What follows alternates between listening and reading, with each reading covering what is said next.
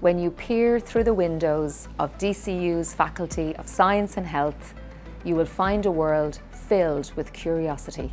Our seven schools cross myriad landscapes of experiments and exploration. We problem solve, prove and improve on what we know and what we don't. We question and we strive to answer.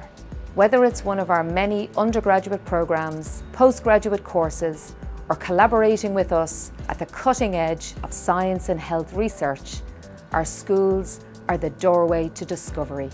From chemical sciences to mathematical and physical sciences, from psychology to biotechnology, from nursing, psychotherapy and community health to health and human performance. We are a global force of thinkers and innovators.